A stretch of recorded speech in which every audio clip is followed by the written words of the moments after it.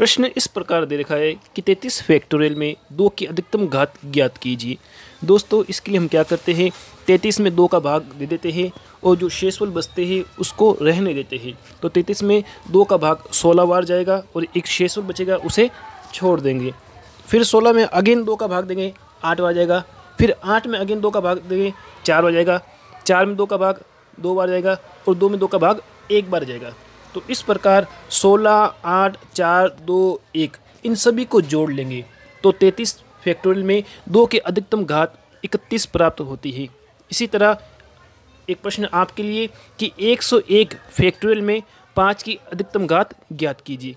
इसका answer comment box में बताइए।